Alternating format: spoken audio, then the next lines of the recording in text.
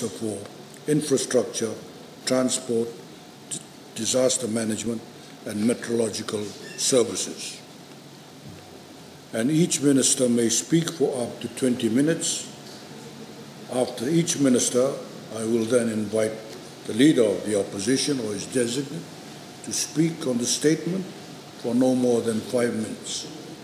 There will also be a response from the leader of the National Federation Party or his designate to also speak for five minutes.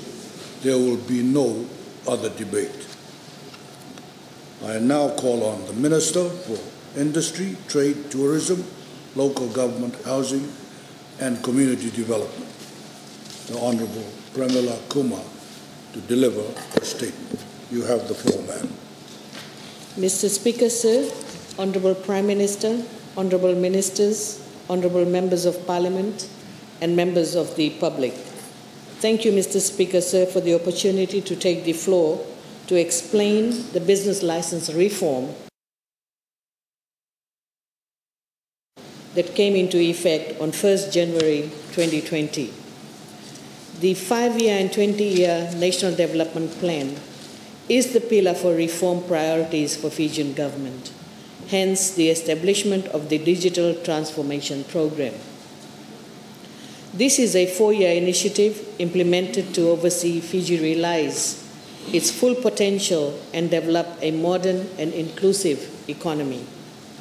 Under this initiative, the Ministry of Industry, Trade and Tourism is mandated to implement reforms in ease of doing business to ensure business processes are revitalized and Fiji achieves a ranking of 50 by 2025 Doing Business report. As part of the Digital Fiji reform programs, the ministry has partnered with the World Bank Group and the Singapore Cooperation Enterprise to implement reforms under Digital Fiji.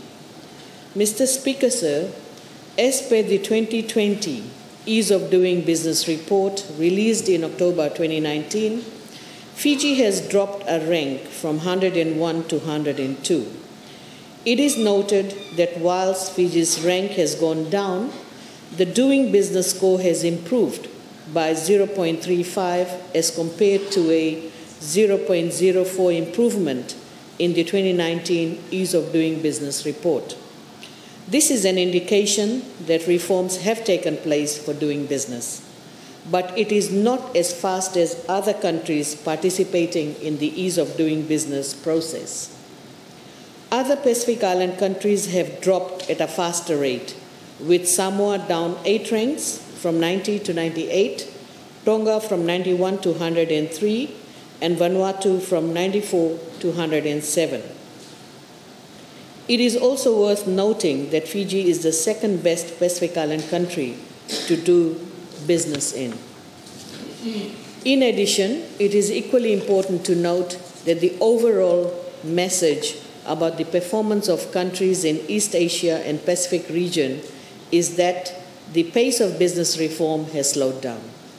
The number of reforms in the region over the 12, months, uh, 12 month period to 1st May 2019 fell by 10. Mr. Speaker, sir, it is worth noting that despite the various reforms that were taken in 2019, which included the launch of Biz Fiji portal, which provided one-stop information on starting a business and obtaining construction permits, registration of company, uh, companies being brought online, and launch of the personal properties register, Fiji's doing business ranking slipped in the 2020 Ease of Doing Business report. This has happened because these reforms have not been noted as reforms for the 2020 report. The World Bank Group Doing Business reports covers only reforms that have taken place before April, May of the year. Mr. Speaker, sir, in an effort to improve ease of doing business and business climate in Fiji, as of 1st January 2020, Ministry of Industry, Trade and Tourism and local government rolled out new processes for business licensing and renewal of licenses. Our Business Licensing Act 1976 grants the municipalities powers to establish bylaws for efficient running of their respective municipalities. However, this led to each municipality in creating their own licensing regimes and different categories of business licenses and requirements. This reform has introduced a standardized and simplified process across 13 municipal councils to improve the ease of doing business in Fiji. According to the World, uh, Bank Group Doing Business report, it takes 40 days to start a business in Fiji. There were at least eight procedures that a business had to comply with in order to get a business license to start operations.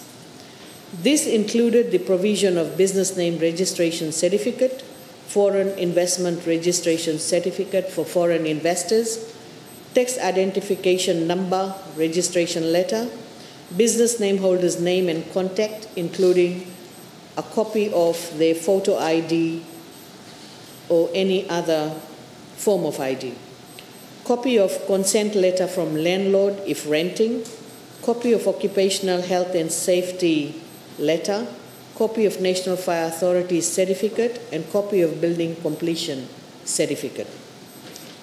These eight processes were illogical and created barriers to starting a business in Fiji. Mr. Speaker said, why should a business provide a copy of the building completion certificate when this information should be with municipal councils? So the businesses were given a runaround to get all this information before they could even get a business license. The processes were all front loaded and required that municipalities ensure all the regulatory requirements of other organizations were met before a business license was issued. With the business license reform, a startup or existing businesses requires two documents. That is business registration and tax registration to obtain a business license. So we have moved from eight requirements to two requirements. In addition, business license applications are assessed based on risk, which was previously measured with the same yardstick.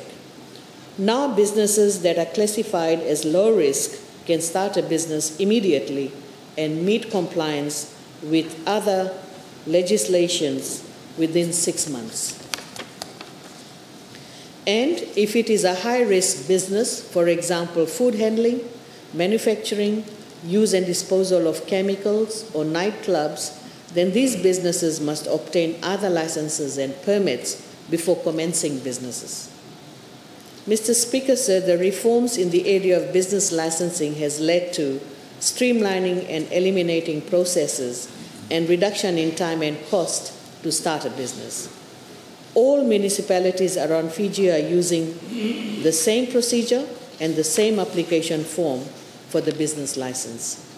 Mr. Speaker, sir, other significant reforms in business licensing includes startups and micro enterprises with up to 3 employees are exempt from the business licensing fee for the first year of operation. Micro enterprises with 1 to 3 employees are given a 50% discount when renewing the business licenses. Startups that will operate from a property that has OHS and NFA certification will not be required to obtain these certificates again unless the business makes structural changes to the property. Home based businesses are now recognized and can operate subject to certain conditions. This new provision legalizes businesses such as tailoring, grog shops, and catering, to name a few, that operates from home. This will give a further fuel to the MSMEs and encourage more Fijians to become job creators than job seekers. Mr. Speaker, sir, a business license can be renewed for a period of up to three years by paying the requisite fees. Under this reform, existing businesses will be required to notify the relevant agencies if there is a change in the, structure, uh, in the structure within the license period. For example, a change in the legal structure, one must notify registrar of companies. the physical structure of the premises to National Fire Authority and OHS, or change in the number of employees, then it must be reported to municipalities and OHS. If these changes are not made, the business is not required to op- obtain all these approvals. Mr. Speaker, sir, this reform is a real game changer, which will lift Fiji's ease of doing business. We have been able to reduce the time taken to start a business from 40 days to approximately 8 days. Mr. Speaker, sir, in many other countries, such as New Zealand, Georgia, Canada, and Singapore, a business had to meet two requirements, and that is business registration and tax registration in order to start operation. Nevertheless, businesses had to comply with other legislation and regulations, including OHS and health requirements. In other words, responsibility for compliance rests with the business and the relevant regulatory agencies that carefully enforce the law through various proactive mechanisms, including spot checks and penalties.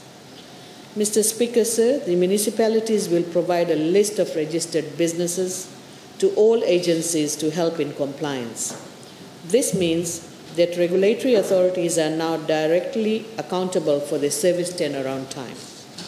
Mr. Speaker, sir, I wish to highlight some of the results noted from the business license reforms.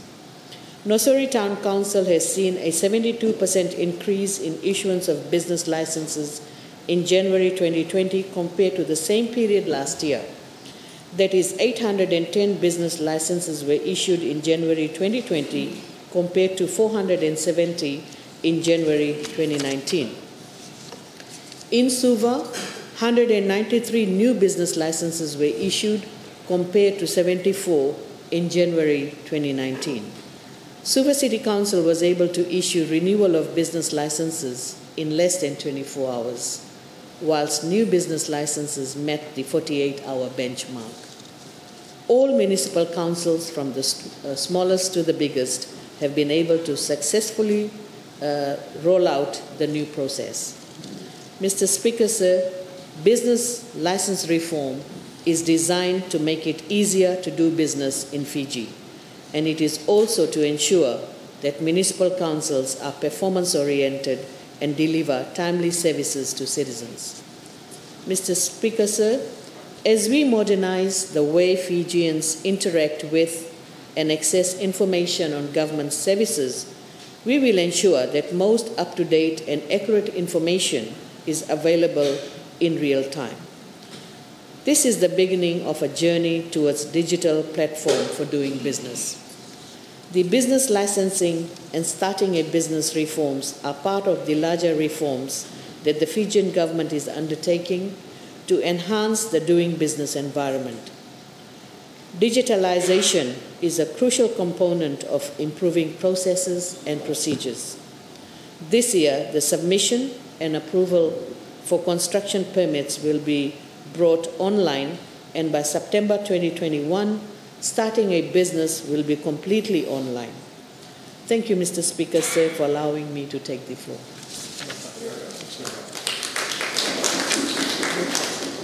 I thank the Honourable Minister. As you know, the procedures, since the Leader of the Opposition or his designate, as well as the Leader of the National Federation Party or his designate, are not here, which normally they would take the floor at this time and speak for five minutes, we will move on to the next ministerial statement and I now call on the Minister for Infrastructure, Transport, Disaster Management, and the